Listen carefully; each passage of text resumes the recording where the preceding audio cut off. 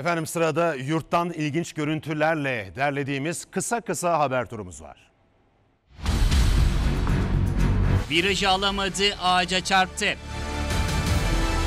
Sarıyer'de ağaca çarpan araç böyle takla attı. Korkunç kazada iki kişi hafif yaralanırken ağır yaralı olan 3 kişi hastaneye kaldırıldı. Yaşanan kaza güvenlik kamerasına da an beyan yansıdı.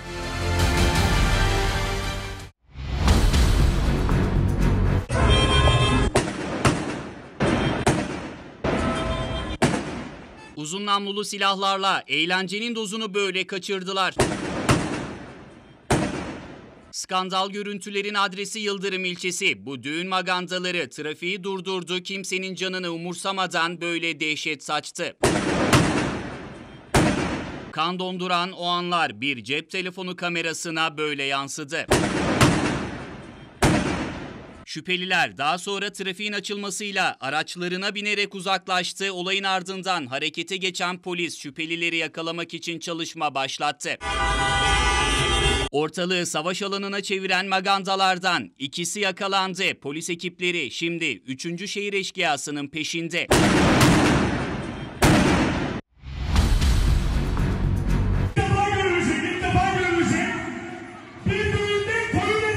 Düğünde damada takı yerine koyun taktılar. Devrek'te hayvancılık işi yapan Kayhan ve Rabia dünya evine girdi. İkisi de besici olunca düğün hediyesi de takı ya da para değil küçükbaş hayvan oldu. Hediye karşısında şaşıran çift masanın üzerine bırakılan koyunu sevip fotoğraf çektirdi. 8 köpeğin saldırısıyla telef olan kedinin kan donduran anları güvenlik kamerasına yansıdı. Korkunç görüntü Dört Yol ilçesi Numune Evler mahallesinden köpek sürüsü bir anda zavallı kedinin etrafını sardı. Saldırıya geçen köpekler kediyi saniyeler içinde böyle telef etti. Bu görüntüler sokaklardaki başıboş köpek sorununun insan ve diğer hayvanların can güvenliğini nedenli tehdit ettiğini de bir kez daha gözler önüne serdi. Irak'ın kuzeyindeki Kandil bölgesinde tespit edilen 4 PKK'lı terörist hava harekatı ile etkisiz hale getirildi.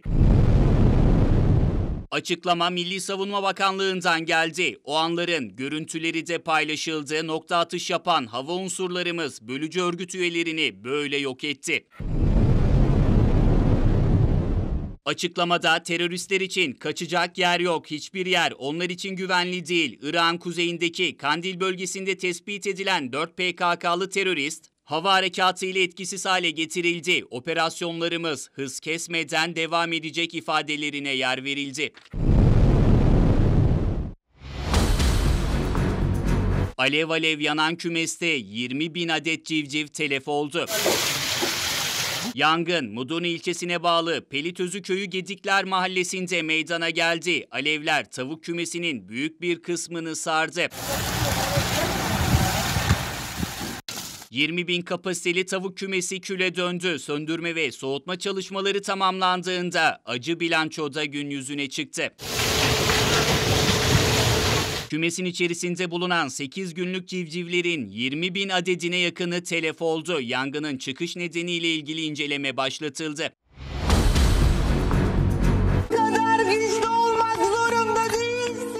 69 bin liraya ağlama seansı verildiği iddiası sosyal medyayı salladı. Çıkar sakladığın yerden çıkar onu. Yüzlerce katılımcı bu ücret karşılığında seansa katıldı. Kimileri ağladı, kimileri de kendinden geçti. Bir tür meditasyon olduğu belirtilen görüntüler Şanlıurfa'nın geçmişe açılan kapısı olan Göbekli Tepe'de kaydedildi.